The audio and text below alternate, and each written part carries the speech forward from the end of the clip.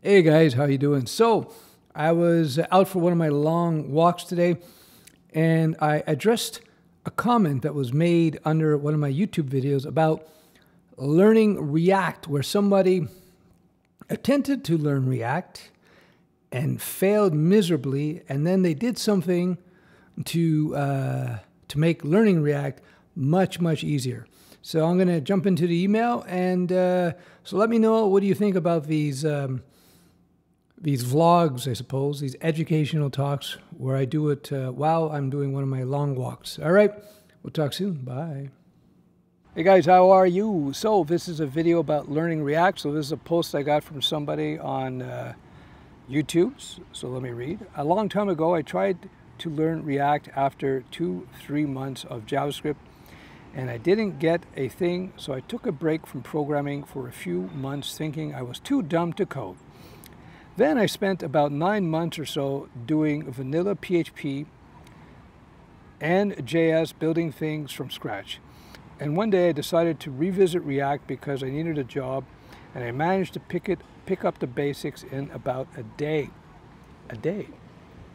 So this uh, goes to something I've been talking about for a long time now. I always talk about the importance of learning the basics. The key to everything is in the basics. This is nothing special to coding and development. The key to mastering any subject, whether it be coding, whether it be business, whether it be basketball, jujitsu, whatever it is, it's always in the basics. Concentrate on the basics. When you're younger, we all do this. I made that mistake as well. You erroneous think that to get ahead, to get there quicker, because we're all pretty impatient, to get there quicker, the key, people think wrongly, is to jump ahead. So if you want to become a React developer, for whatever reasons, you decide, well, I'm just going to learn React. Now, learning React without understanding the foundations, the basics of web development, so that means HTML5, CSS3, JavaScript, learning to put up websites, etc. If you don't understand that, understanding React is going to be a disaster for you. You just won't get it. You just won't get it. You have to study the basics first. And that's not the slow way. That's the fast way. The slow way is to jump into React first without having learned your fundamentals, and you're just not going to succeed. As I said, this applies to any discipline. If you want to become uh, proficient in BJJ, you want to become an MMA fighter, you want to be good at MMA, again, don't try to jump ahead.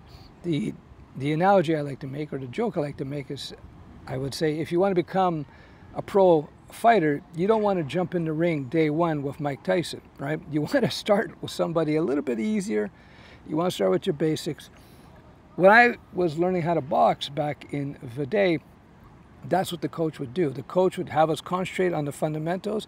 Once we got our fundamentals down, basic body mechanics, basic being able to shoot the basic punches, etc., basic movement, then we would get in the ring right away. So getting in the ring when it comes to coding and development is actually building real projects. The biggest mistake you can make is getting caught up in tutorial hell, where you are uh, continuously doing more tutorials and more tutorials and more tutorials. The worst thing you can do to yourself is to try to walk into a job interview just showing tutorial projects that you've built. Well, I did this uh, this course here, and we built a Twitter clone, or I did this course here, and we built uh, blah, blah, blah, blah. This is the worst thing. Why? Because when you are a pro developer, a big part of the job is being able to interact with other people. Being able to interact with other people means interpersonal skills, right? Be able to communicate succinctly, to the point, have empathy for people around you. I know this sounds weird. You think, ah, I just want to be a coder. When, you're, when you are a coder, you are communicating with people you are talking to them, whether it be your clients, co-workers, the boss, you're communicating some pretty complex ideas. And so if you can't communicate well, you can't get to the point, eh, you're not going to be too good. You're not going to do too good. You're not going to be a very good developer. The second thing that recruiters look for in prospects when they're looking to hire somebody is whether or not they can communicate well, whether they got good soft skills, good interpersonal skills. This is so important that I built an entire module for my mentoring program just on that. This is a fundamentals course on how your emotional side works, how your lizard brain works. You learn the operating systems of your brain. Once you understand that operating system, the rules of your emotional self, what, what are the rules? What are the parameters in which uh, your brain functions? Everybody's brains function, by the way.